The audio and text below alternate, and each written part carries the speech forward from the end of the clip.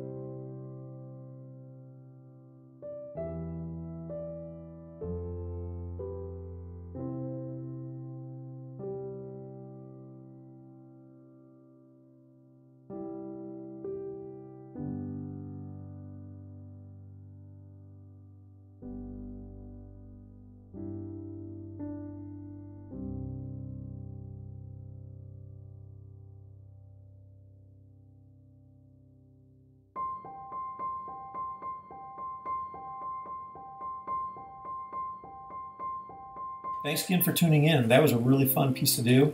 I think next week we're probably going to be working on Venom, so I think that'll be really great to uh, to share with you as well. Um, you can see this Mr. Incredible piece on my website, and um, it's available there for sale, as well as a lot of other really cool stuff. So anyway, have a great weekend, and I'll see you next week.